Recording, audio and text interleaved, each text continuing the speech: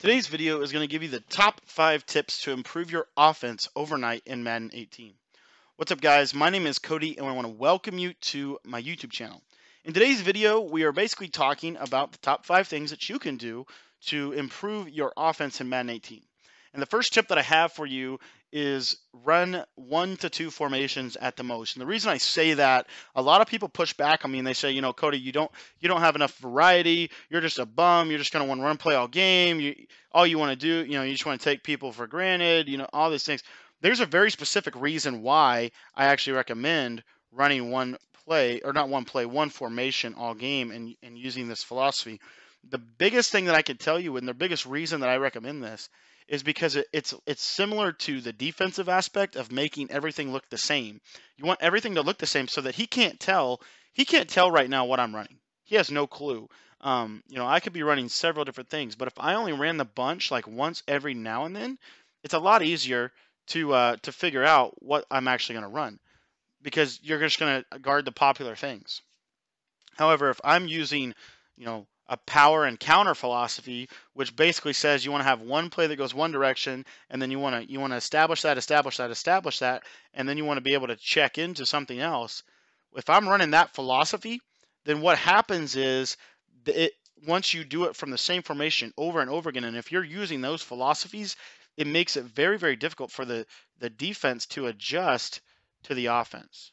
So that's why I recommend running this running the same one to two formations. I like to have one formation if possible, but oftentimes the red zone makes that a little bit different. So I like to have basically a shotgun set and then a running heavy under under center set for the goal line.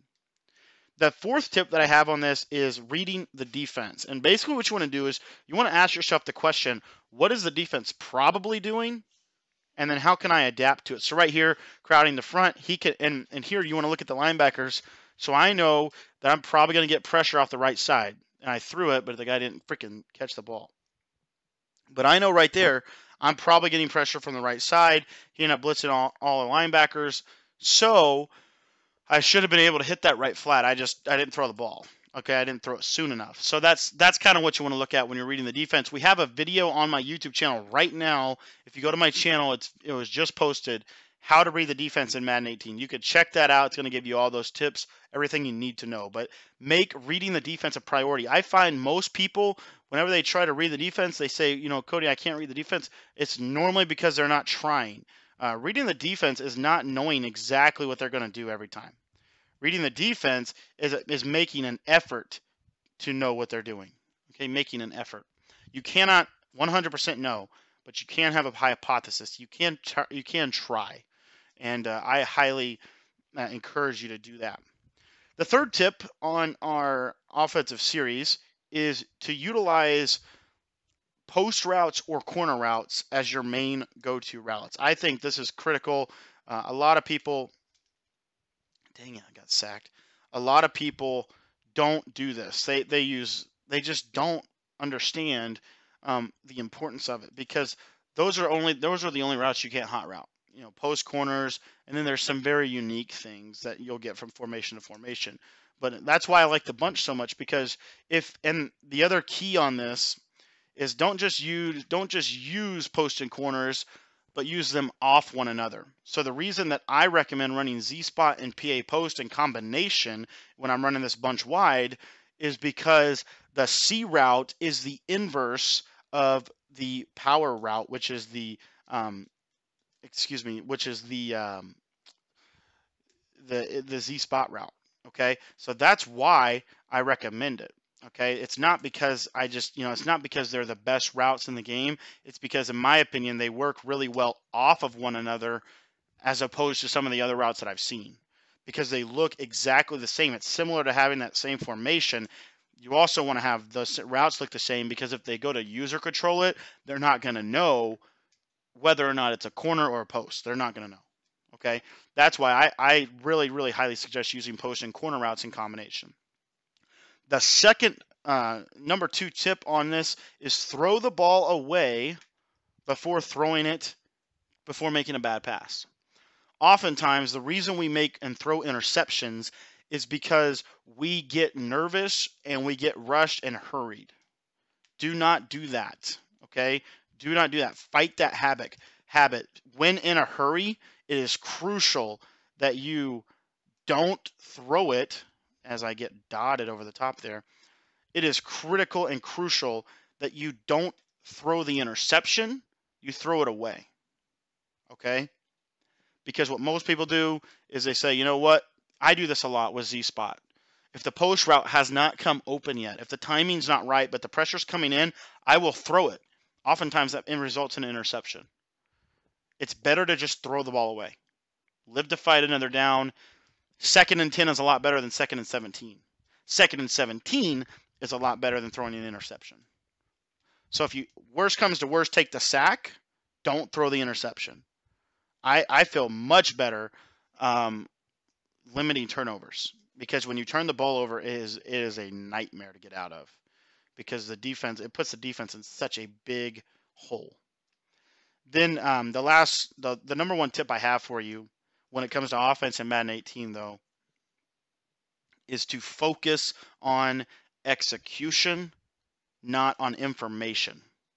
So offense this year, offense really every year normally has a little bit of an advantage compared to the defense, and there's reason for it. See, like right there, take the sack, don't throw it. Like I was, Z spot hadn't come open yet, and there was other routes that were open, and that's where another thing, your, your timing is really important when you're playing offense. But um, but anyways, back to that last tip I want to give you. Focus on execution over information because the problem is if you're not careful, what you will do, just like what I used to do, is you will go and search Madden 18 money play on YouTube and what's going to happen is you're just you're just going to start adding all these plays.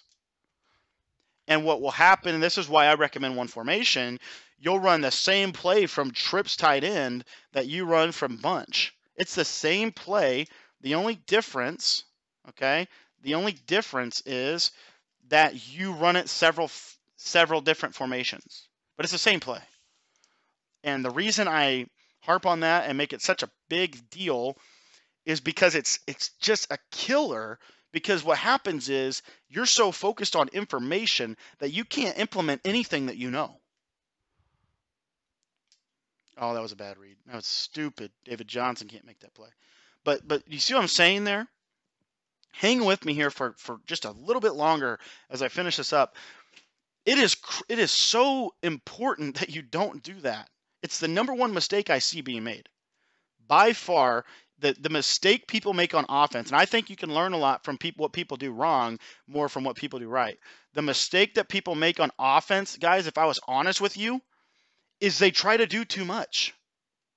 They try to do too much from too many formations and they can't actually apply it.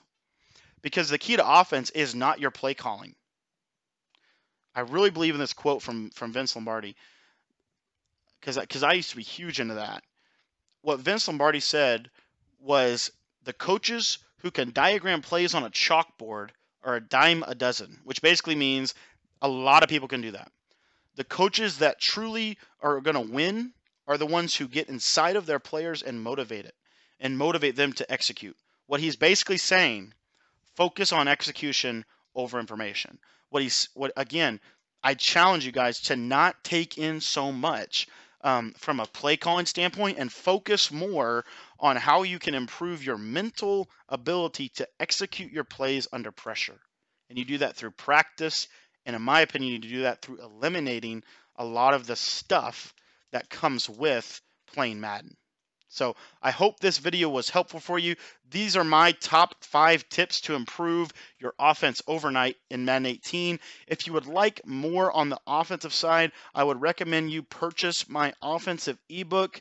Um, I talk a lot about this. I give you an exact formation, playbook breakdown, everything that you need so that it takes the thinking out of it and it really allows you to implement over create.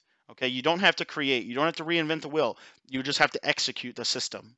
So this offensive ebook will give you that. Um, and also I have a, a, uh, combination guide where you can buy the offense and defense for $10 uh, less than they would be if you bought them separately. So hopefully, um, hopefully that can give you some tools that you can utilize to be better on the offensive side in Madden 18. I, I, truly hope that this video has been helpful for you. And if it has, then do me a favor and be sure to share the video with someone, letting them